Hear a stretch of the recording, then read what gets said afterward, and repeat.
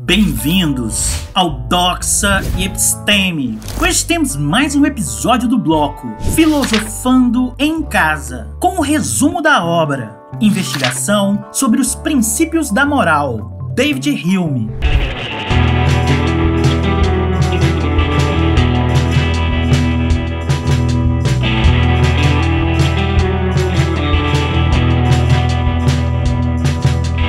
Referências considerado por Hume, 1711 a 1776, como o melhor dos seus escritos. A investigação sobre os princípios da moral constitui uma refundição do livro 2 do Tratado da Natureza Humana. O autor toma parte no debate suscitado pela filosofia de Hobbes, 1588 a 1679, que afirma que a natureza humana é regida pelo egoísmo e que a distinção entre o bem e o mal resulta de uma convenção social. Contra Hobbes, duas tradições afirmam a existência de uma moral natural, mas se opõem sobre a questão do seu fundamento. Para os racionalistas, a moral se deduz pelo puro raciocínio, enquanto para os sentimentalistas, ela provém de um sentimento moral. Para concluir esse debate, a investigação sobre os princípios da moral propõe uma abordagem empírica da moral, que deve determinar os respectivos papéis da razão e do sentimento, sem dogmatismo,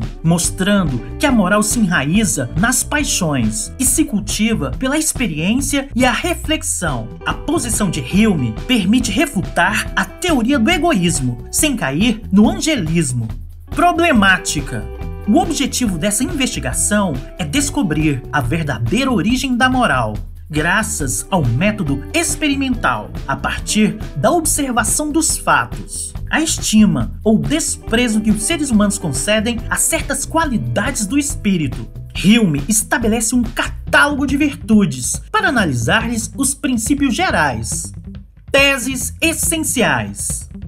A moral que guia nossa conduta pela distinção do bem e do mal não se baseia no exercício da razão, mas sim em um sentido moral. Com efeito, a argumentação racional não pode decidir sobre o valor de um ato e nem mesmo motivar o nosso comportamento. São os sentimentos de prazer ou de dor que suscitam a aprovação da virtude ou a condenação do vício e que constituem o motor de nossas ações. A moral se enraiza, portanto, na afetividade e tem por princípio as paixões.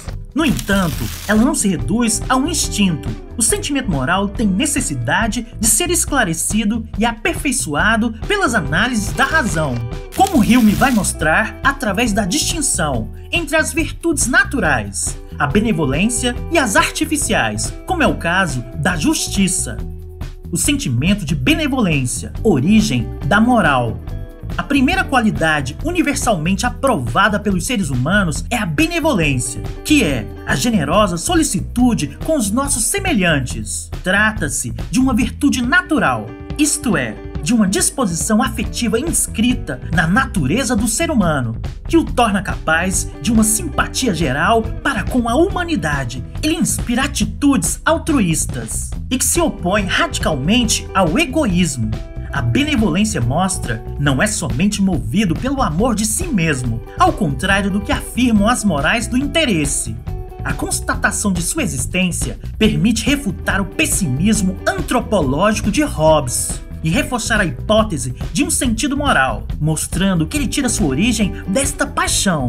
A justiça, uma virtude artificial, a justiça é definida como respeito pela posse ou bem de outrens. Diferentemente da benevolência, esta virtude não provém diretamente da natureza humana. É um artifício inventado pelos seres humanos, que tem como objetivo superar as inconveniências de uma condição natural, e esta não corresponde à ficção poética de uma era de ouro harmoniosa, e nem mesmo à ficção pessimista de um estado de natureza hobbesiano, onde existe. O eterno conflito dos egoístas, mas se caracteriza pela desordem que provém da tendência das paixões, o egoísmo e a simpatia, isto é, a parcialidade, que compreende pela experiência e pela reflexão as vantagens de uma vida em sociedade. Os seres humanos concordam sobre as regras de justiça que tornam a sociedade possível.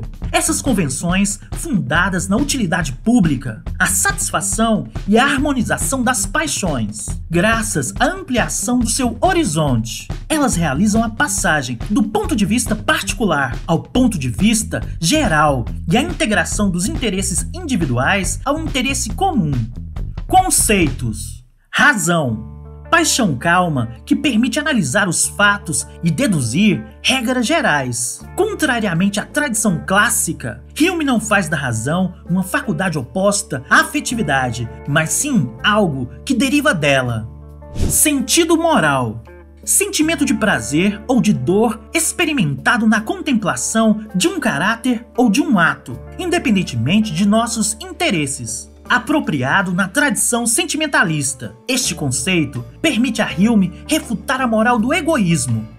Simpatia princípio de comunicação dos sentimentos ou das paixões de um indivíduo a um outro e que varia segundo as circunstâncias. Ela é parcial por natureza, isto é, limitada aos próximos. A simpatia pode estender-se graças às regras da justiça, Oi, caso você tenha gostado do vídeo, dê um like, assine e compartilhe com os amigos. Todo comentário é bem-vindo. Forte abraço e vitória sempre!